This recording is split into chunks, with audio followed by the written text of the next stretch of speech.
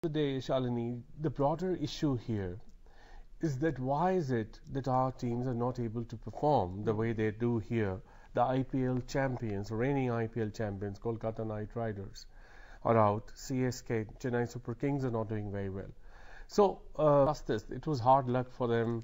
You know, the rain gods were not kind to them. They lost because it was drawn. Or not, are we really used to it or not, or do we really need more uh, time, more sessions to adapt to this kind of a culture? And look at the present situation. You get over with one and you get into another one. That's right. And, and I don't really think that the format uh, is immaterial.